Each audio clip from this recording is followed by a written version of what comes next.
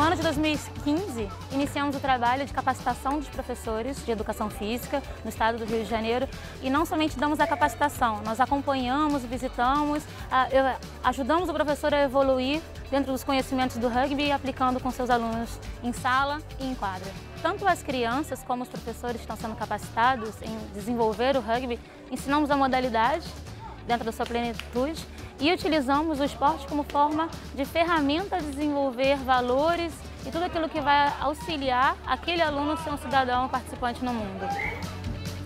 É, hoje está acontecendo um treino técnico e um treino tático da equipe Barão Rugby, como acontece normalmente todas as quartas-feiras é, aqui na escola e também aos sábados em outro colégio é, um pouco mais distante daqui.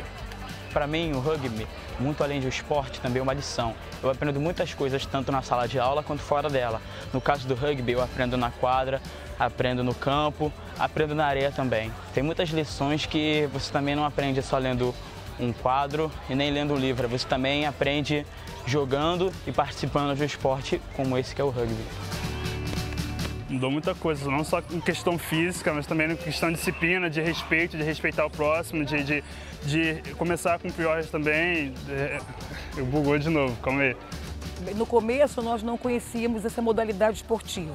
Com o passar do tempo, a perseverança do professor Alexandre, o interesse dos alunos e a escola começou a ver, como também toda a direção, começou a ter um outro olhar em relação a isso que era muito interessante e importante para os alunos, trabalhando-se a disciplina, realmente o esporte e também levando o nome do colégio aí né, para o Rio de Janeiro e até fora do Rio de Janeiro.